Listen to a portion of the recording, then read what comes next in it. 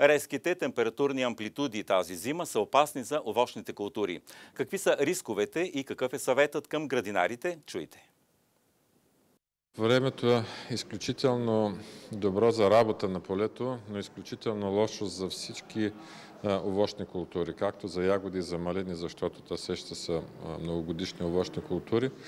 Времето е много променливо и изменчиво и измамно за всички видове овощни култури, защото тези температури, които са през последните няколко седмици, са абсолютно ненормални за този период от време на годината.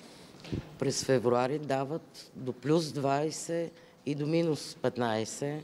Това може ли да, така да унищожи насъждения?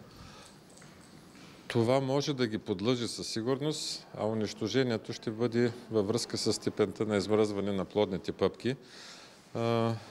За нашите членове за ягоди и малини сме предоставили специални средства за защита от подлъгване.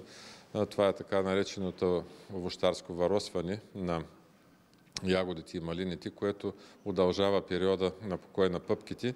Смятаме, че тези средства трябва да бъдат одобрени от Агенция за безопасност на храните за зимните пръскания, така че да може да се предотвратят и при другите овощни култури такива подлъгвания и удължаване на периода на покой е едно от така простите и ефективни средства за предпазване от зимните измръзвания и късните пролетни слани.